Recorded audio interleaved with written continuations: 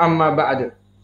Alhamdulillah pada kesempatan hari ini hari Kamis malam Jumat 29 Juli 2021 bertepatan dengan 20 Dzulhijjah 1442 Hijriah. Kita lanjutkan kajian di Fakultas Ilmi Raqaiq dalam pembahasan kitab Al-Akhbar As-Sahihah fi Adabi Talibil Ilm kumpulan hadis-hadis yang sahih yang membahas tentang adab-adab para penuntut ilmu. Maka pelajaran ini sengaja kita buka untuk ikhwanuna yang akan datang belajar di Ma'had Mukbil Al-Wadi baik santri ataupun santriwati dan juga kepada ikhwanuna yang belajar bersama kami dari mulai pengurus ataupun para santri yang ada dan santriwati dan juga mereka yang belajar bersama kami melalui online, semuanya kita tolabul ilm, maka kita butuh kepada nasihat-nasihat dari adab-adab yang harus dimiliki oleh penuntut ilmu. Maka pada kesempatan malam ini kita masuk kepada sesi yang ke-14 dan di sesi yang ke-14 ini kita masuk kepada bab yang baru, bab yang ke. Di mana di bab yang ke-8 dari adab bagi para penuntut ilmu setelah di bab yang ketujuh adalah mengikhlaskan ibadah menuntut ilmu itu untuk Allah saja, maka di bab yang ke-8 sekarang setelah ikhlas adalah tazkiyatun nafs. Maka sebelum kita masuk kepada pembahasan dipersilahkan kepada ikhwanuna mentasmi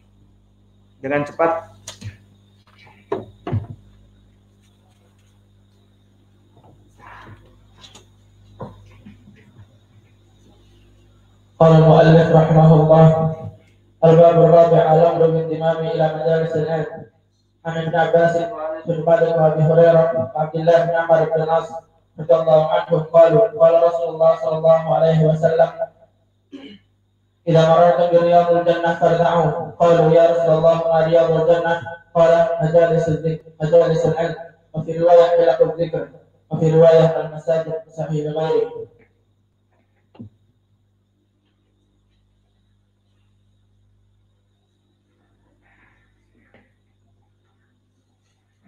قال المؤلف حفظه الله الباب الرابع الامر بالانضمام الى مجالس العلم عن عن ابن عباس وانس بن مالك وابي هريره وعبد الله بن عمر بن العاص وانهم قالوا قال رسول الله صلى الله عليه وسلم اذا مررتم برياض الجنه فارتعوا قيل يا رسول الله وما رياض الجنه قال مجالس العلم وفي الروايه الى الذكر وفي الروايه المساجد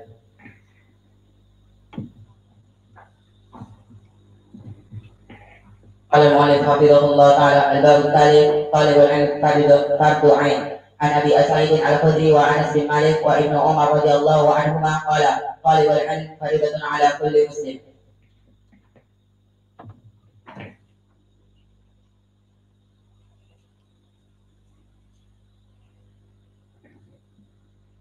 إلا قال المؤلف رحمه الله تعالى عن أبي سعيد الخدري رضي الله عنه قال قال رسول الله قال كان النبي صلى الله عليه وسلم أشد أشد قال النبي صلى الله عليه وسلم أشد حياء من من من كان النبي صلى الله عليه وسلم أشد حياء من من الأدراء.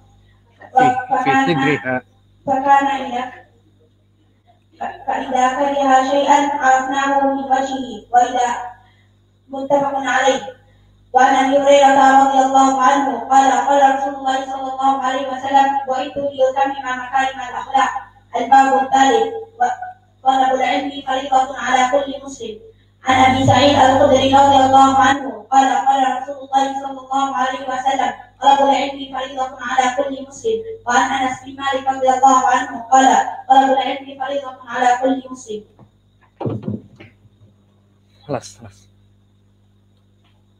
Bukroh insya Allah.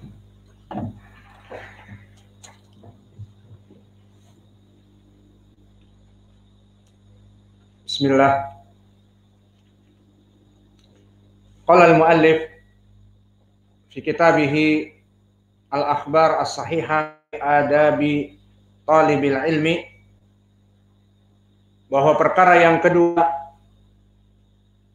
di bab yang ke-8 ini yang harus diperhatikan oleh para penuntut ilmu setelah mengikhlaskan dirinya datang ke Ma'had Mukbil Al-Wadi'i untuk menuntut ilmu maka yang kedua adalah tazkiyatun nafs kalimat tazkiyatun nafs dipergunakan yang bermakna pensucian jiwa. Maknanya an yutahhira qalbahu min kulli ghish wa danas wa ghil bal wa su'il aqidah wal khuluq. Maka seorang talabul ilm yang ingin menuntut ilmu mempelajari Al-Qur'an dan sunnah setelah dia mengikhlaskan diri kepada Allah di bab yang ketujuh, maka kemudian setelah itu dia mensucikan dirinya dari dosa-dosa yang ada padanya. Maka jika dia misalnya seorang yang kecanduan untuk merokok, kemudian dia menuntut ilmu, maka dia meninggalkan melaksanakan keharaman tersebut sebagai tazkiyatun nafas yang diinginkan di sini.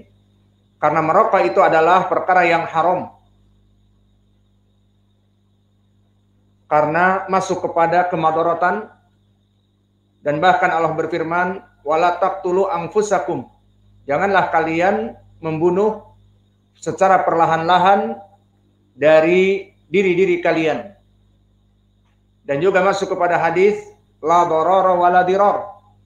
Tidak boleh seorang muslim untuk memberikan madarat kepada dirinya dan kepada orang lain. Dan begitu pun di dalam bungkus-bungkus rokok tertulis merokok membunuhmu. Namun berapa banyak orang-orang yang jadi buta huruf di saat merokok. Maka tidak terbaca di saat hawa nafsunya ingin merokok. Ini contoh misal. Orang yang ingin menuntut ilmu menjauhi segala yang ada padanya. Maka dia jika hendak menuntut ilmu dan dia mempunyai HP, maka 24 jam bersama HP-nya melihat perempuan di HP ataupun lebih dari itu chattingan dengan perempuan bahkan santriwatinya yang berada di ma'had maka perbuatan-perbuatan seperti itu dibersihkan. Dan kesimpulannya perbuatan apa saja dari perbuatan-perbuatan yang ada padanya dari perbuatan dosa yang biasa dia lakukan di saat dia akan menuntut ilmu maka berhijrahlah secara sempurna.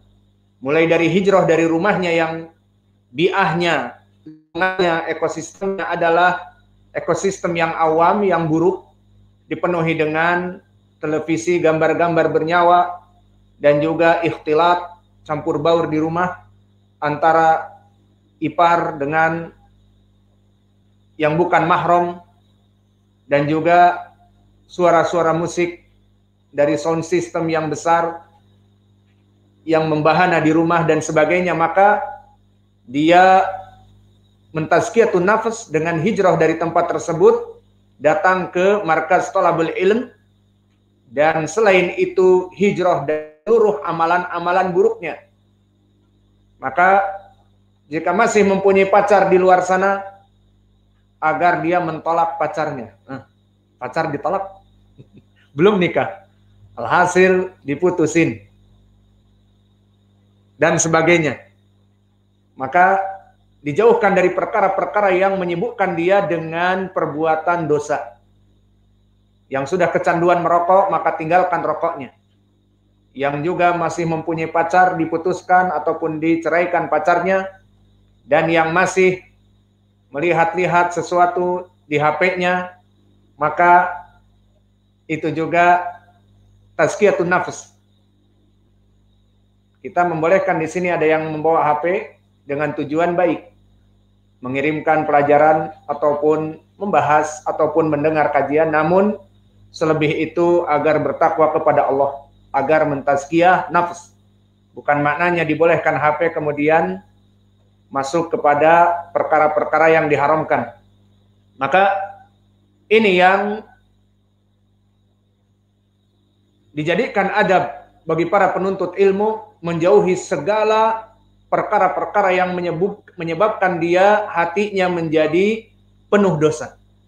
Dan bukan permasalahan tadi yang kami sebutkan dari perkara-perkara yang berdosa, juga akhlak. Maka tarbiyah menuntut ilmu itu butuh kepada akhlak yang mulia. Maka seseorang yang datang kepada ma'had akhlaknya buruk. Dia akhlaknya hasad. Dia akhlaknya erogan, sombong. Dan dia suka mendolimi saudaranya, mudah marah, mudah memukul dan berkelahi. Ah, tazkiyatun nafs yang suka berkelahi la tadhak sa'adri bukan. Maka yang tadinya suka berkelahi dan sebagainya, ingat, itu perbuatan dosa. Apalagi memukul wajah. Maka jauhkan dari perkara-perkara yang menyebabkan dosa ini, itulah yang diinginkan dengan tazkiyatun nafs. Bahkan dari segi akhlak. Yang biasa mencela menyebutkan saudaranya dengan nama-nama binatang. Seluruh kebun binatang disebutkan dasar demikian dan demikian. Bahkan binatang-binatang yang hayalan pun, dasar dinosaur dan sebagainya. Maka ini semuanya harus dihilangkan. Dari akhlak yang buruk pun dihilangkan. Sehingga orang yang ingin menuntut ilmu menghilangkan kebiasaan yang haram hijrah semuanya, bahkan adab yang buruk yang semua orang mengetahui adab buruk itu dari hatinya. Saya bakhil, saya sombong, saya arogan, saya demikian dan demikian itu diketahui oleh dirinya sendiri. Maka dihilangkan sifat-sifat seperti itu. Dan bahkan disebutkan juga dari su'il akidah. Orang-orang yang datang menuntut ilmu seperti datang ke Ma'had Mukbil Al-Wadi yang tadinya mempunyai akidah sufiyah ataupun mempunyai akidah yang lebih ekstrim dari kelompok teroris, dari tadinya kelompok ISIS ataupun yang belajar dengan kelompok-kelompok teroris yang takfiri mengkafirkan kaum muslimin, maka agar mensucikan dirinya dari pemahaman-pemahaman yang salah. Dan yang memahami salah termasuk mereka orang-orang yang bermadhab al-asyairah yang menafikan sebagian sifat Allah dan menetapkan sebagian sifat dan mengatakan Allah tidak di atas langit tetapi zatnya tidak boleh ditempatkan di ruangan dan sebagainya itu pun harus diperbaiki. Maka dari akidah juga diperbaiki, dari akhlak diperbaiki, dari kemaksiatan-kemaksiatan, kebiasaan dosa-dosa yang dia lakukan agar semuanya dibersihkan dari hatinya. Maka ini adalah dari adab yang kedua setelah ikhlas. Karena apa? Karena disebutkan oleh para ulama, hati kita yang akan ditimpa dan diberikan kepadanya ilmu yang merupakan cahaya dari Allah Al-Quran dan sunnah Nabi apalagi sesuai dengan pemahaman as-salafus saleh seperti kita manhaj as-salafi maka hati itu harus siap menerima dalam keadaan bersih dari noda, dosa-dosa, akhlak buruk, akidah-akidah yang salah. Maka inilah adab yang kedua agar seseorang sukses menuntut ilmu syar'i, maka dia melaksanakan tazkiyatun nafs. Maka dikiaskan oleh para ulama, hati-hati yang suci itu seperti orang-orang yang ingin melaksanakan salat. Maka di dalam hadis yang mutafakun alaih dari Abi Hurairah Berkata Rasulullah sallallahu alaihi wa ala alihi wasallam, "La tuqbalu salatu man ahdatha hatta yatawaddoa." Di riwayat Al-Bukhari, datang seseorang kepada Abu Hurairah, rajulun min Hadramut mal hadas ya Abu Hurairah qala al fusa wa durab. Apa itu hadas? Disebutkan oleh Abu Hurairah keluar angin dari belakangmu dalam keadaan bersuara ataupun dalam keadaan tidak bersuara. Maka itu diperintahkan untuk berwudu. Maka disebutkan oleh para ulama bahwa salat adalah ibadah kepada Allah. Maka diperintahkan oleh Nabi kita untuk berwudu. Dan syarat diterimanya salat di dalam hadis ini Allah tidak menerima salat kecuali harus mensucikan dirinya dari hadas. Maka ini dari perkara salah disyaratkan untuk mensucikan dari hadas yang kecil dengan wudhu dan hadas yang besar dengan mandi janabah. Dan begitu pun bagi orang-orang yang ingin menuntut ilmu di mana hati-hati tersebut akan dipenuhi dengan Al-Quran dan Sunnah, sehingga hafalannya menghafal dengan mudah dan memahami Al-Quran dan Sunnah dengan pemahaman yang benar, itu semuanya butuh kepada pembersihan dari hati-hati kita.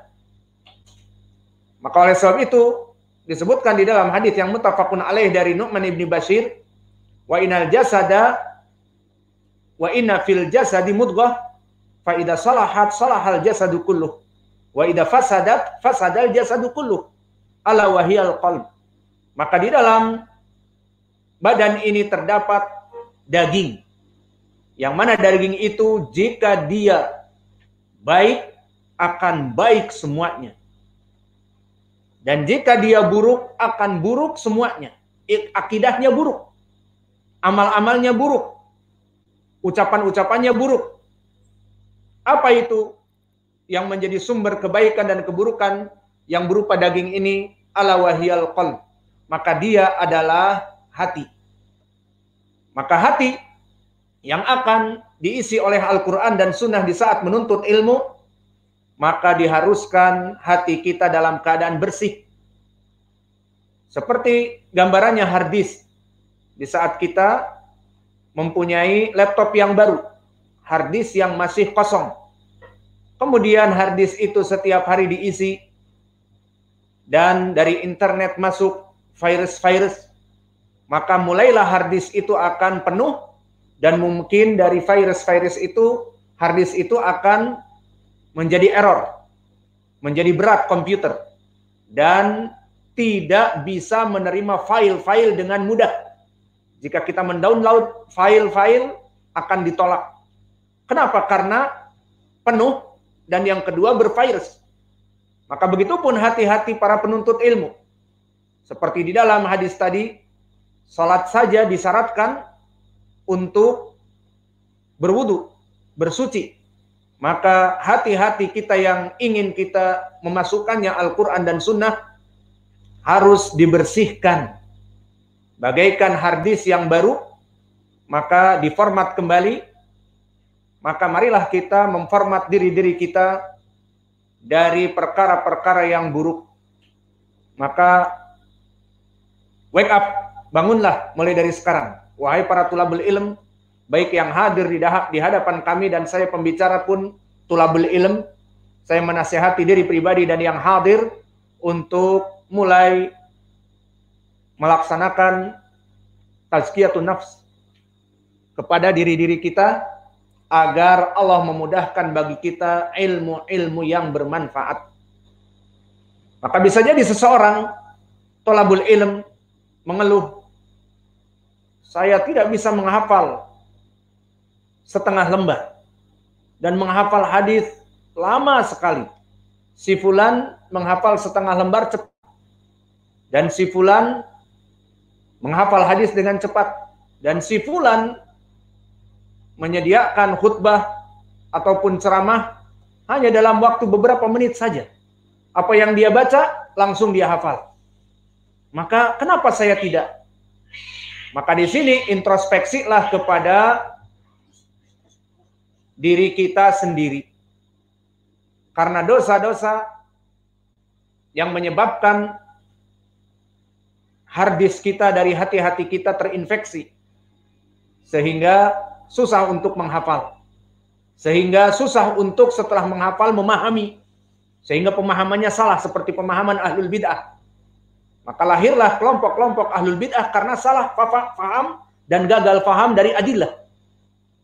Mereka pun beristidlal dengan Al-Quran dan Sunnah, kelompok ahlul bid'ah, namun tidak diberikan taufik untuk mengambil tafsir dari as-salafus saleh. Sehingga mereka mentafsirkan Al-Quran dan Sunnah dari imajinasi mereka, dari persepsi mereka, dari ide mereka yang salah. Karena tidak kembali kepada salaf pemahaman. Maka jadilah kelompok ahlul bid'ah tidak hanya disangka dia di atas sunnah. Maka ini adalah perkara yang sangat penting.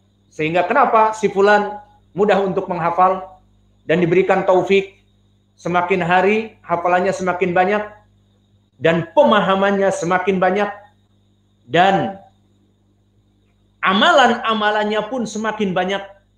Sekarang melaksanakan sunnah-sunnah, menghidupkan sunnah-sunnah setelah terus-menerus dia melaksanakan kebaikan atas dirinya.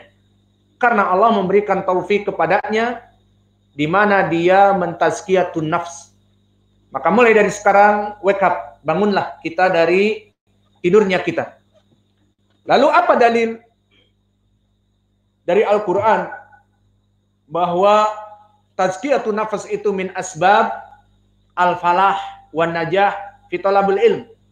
Mana dalil bahwa tazkiyatun nafas itu mensucikan jiwa-jiwa kita, hati-hati kita dari dosa-dosa dan subuhat dan akidah-akidah yang buruk itu menyebabkan kita sukses dalam menuntut ilmu. Banyak sekali pendalilannya di Al-Qur'an, di antaranya seperti ucapan Allah di surat Al-Baqarah. Allah berfirman, "Wattaqullah wa yu'allimukumullah maka bertakwalah kalian kepada Allah. Wa yu'allimukumullah. Maka di sini Allah akan memberikan ilmu kepada kalian. Wallahu bikulli syai'in alim.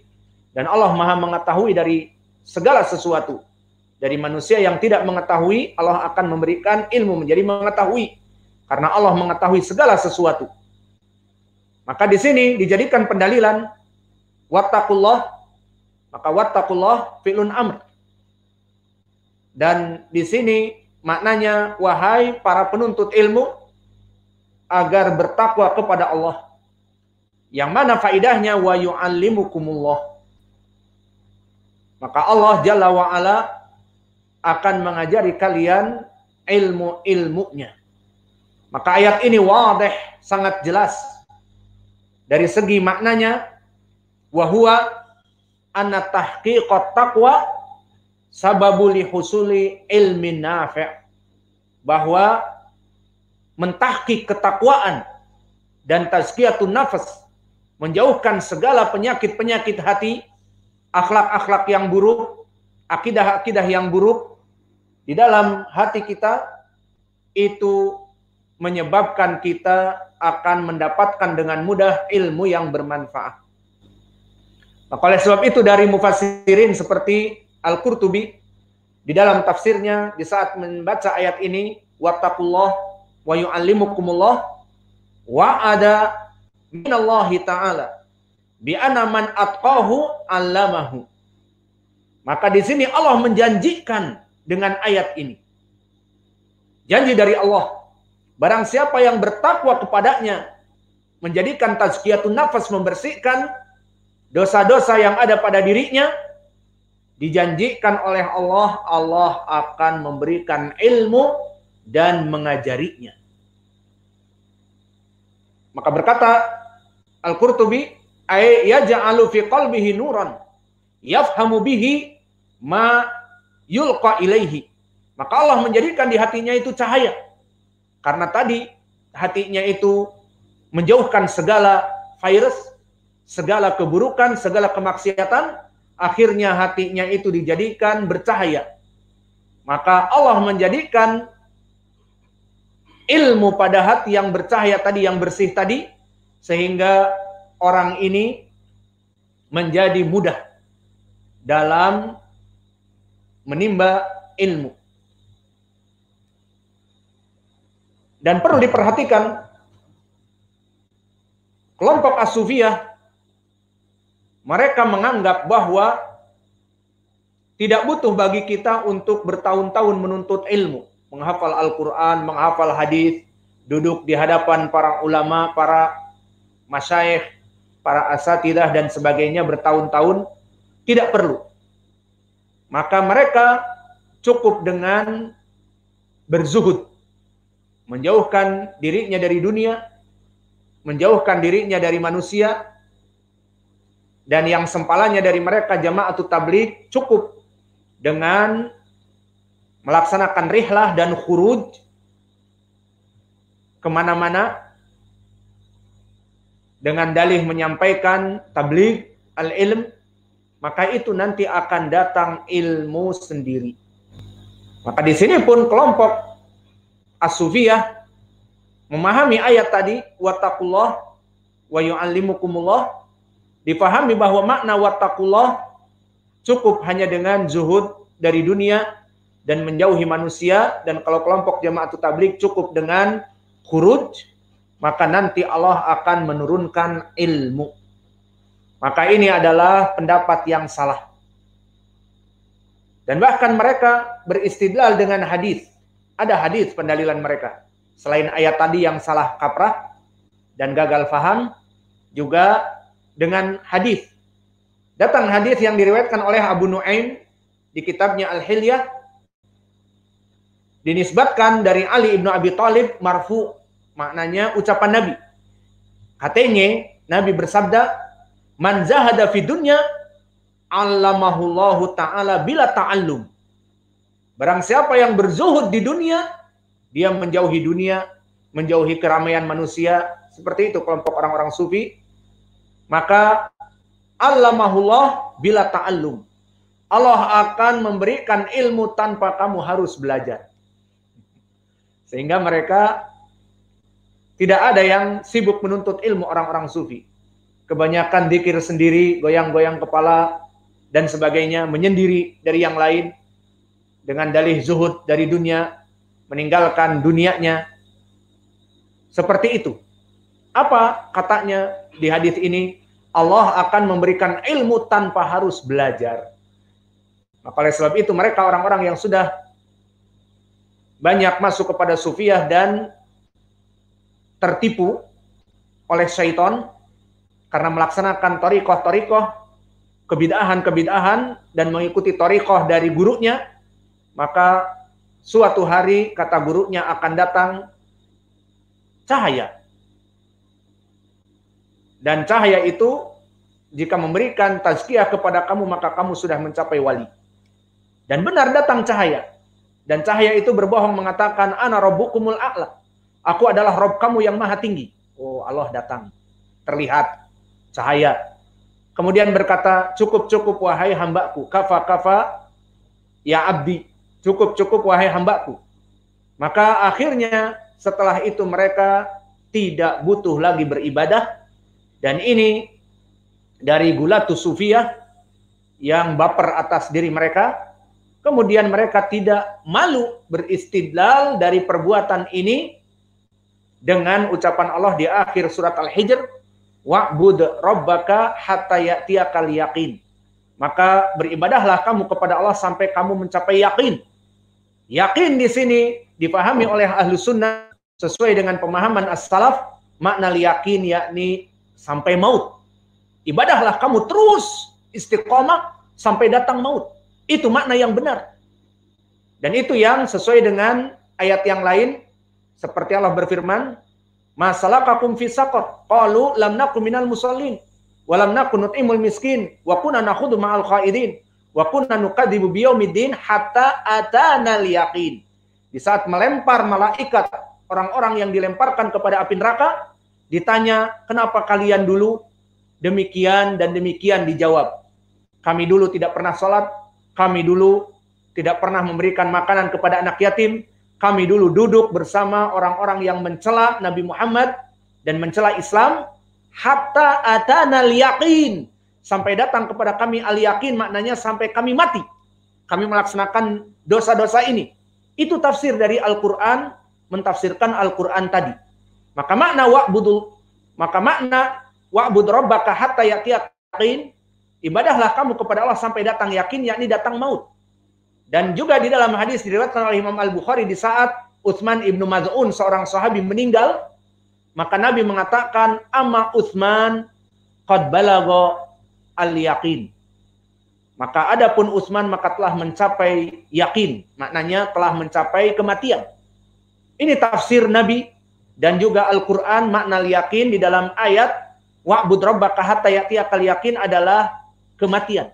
Ditafsirkan oleh mereka kelompok as-sufiyah ilmu yaqin. Maka mereka membagi ilmu menjadi dua, ilmu yang biasa, ilmu zahir namanya, dan ilmu yaqin. Yakni seperti ilmu mereka datang dari Allah karena mereka melaksanakan zuhud pada dunia, datang ilmu yang tidak butuh lagi belajar. Maka mereka membagi ilmu menjadi dua, zahir wal batin. Zahir apa? Seperti kita. Kita belajar bertahun-tahun, menghafal Al-Quran, hadis, dan yang lainnya. Kata mereka, kita punya ilmu yang instan. Seperti hadis tadi. Man zahada fi dunya, allamahullahu ta'ala bila ta'allum. Barang siapa yang melaksanakan zuhud di dunia, maka Allah akan mengajari dia ilmu tanpa dia harus belajar. Enak banget. Maka oleh sebab itu para wali-wali mereka yang sudah meninggalkan sholat dan melaksanakan yang haram-haram, kata mereka, kita diperintah ibadah sampai datang yakin. Nah, kita sudah melihat cahaya katanya Allah dan sebagainya dan sebagainya, maka mereka meninggalkan ibadah dan merasa dirinya baper sudah mencapai tingkat yakin dan akhirnya mereka mengatakan aku mempunyai syariat yang baru allamani qalbi haddatsani qalbi an rabbi meriwayatkan hatiku haddatsani rabbi dari Rabbku kenapa karena hadis tadi man zahada fi dunya allamahullahu bila ta'allum Barang siapa yang berzuhud di dunia, maka orang-orang ahli zuhud, mereka selalu menyebutnya wali-wali Allah itu dengan ahli zuhud. Mereka ahli zuhud, Allah memberikan ilmu yakin tanpa harus belajar. Tanpa capek-capek. Kita belajar dan sebagainya. Dan di lafaz setelahnya wahadahullah bila hidayah. Dan Allah memberikan hidayah tanpa kita harus mencari hidayah untuk belajar dan terus melaksanakan ketaatan. Waja'alahu basiron wa anhu al-ama. Dan Allah menjadikan dia menjadi basirah, mempunyai pandangan ahlul basirah dan juga Allah menjadikan dia melihat dari kebutaannya. Maka hadis ini hadis yang jelas maudhu. Diriwayatkan oleh Abu Nuaim di kitabnya Al-Hilyah dari Ali ibni Hafiz Al-Absi hadatsana Nasir ibni Hamzah an abihi an Ja'far ibni Muhammad dari Al Husain ibni Ali dari Ali ibni Abi Thalib. Maka sanadnya semuanya mudlim. Maksudnya gelap. Maknanya semuanya para pendusta dan rawi-rawi yang ditinggalkan to the trash, dilempar ke tong sampah hadis-hadis mereka. Maka dihukumi oleh para ulama hadis ini maudhu dan hadis ini tentu disahihkan oleh kelompok as-sufiyah dan dijadikan pendalilan bahwa mereka bisa mendapatkan ilmu tanpa harus belajar dengan zuhud, dengan hurud dan sebagainya.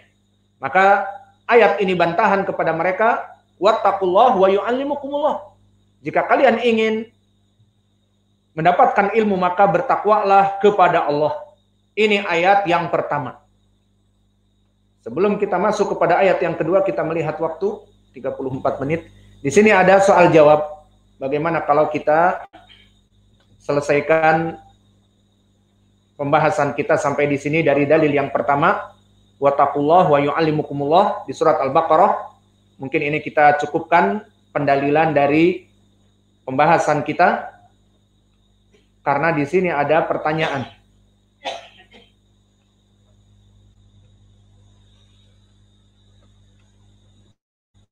Ada yang mau baca pertanyaan? Silahkan dibaca